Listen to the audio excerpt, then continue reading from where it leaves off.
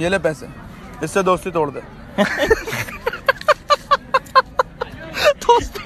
तुझे क्या लगता है इतने से पैसों से दोस्ती तोड़ देगा? हटा दे।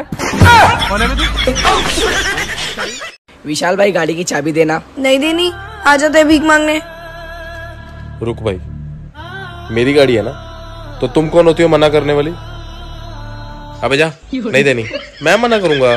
पागल। भाई बहुत देर होगी कहीं जाने का प्लान नहीं बनाया। चलो निरान का गान चलते हैं।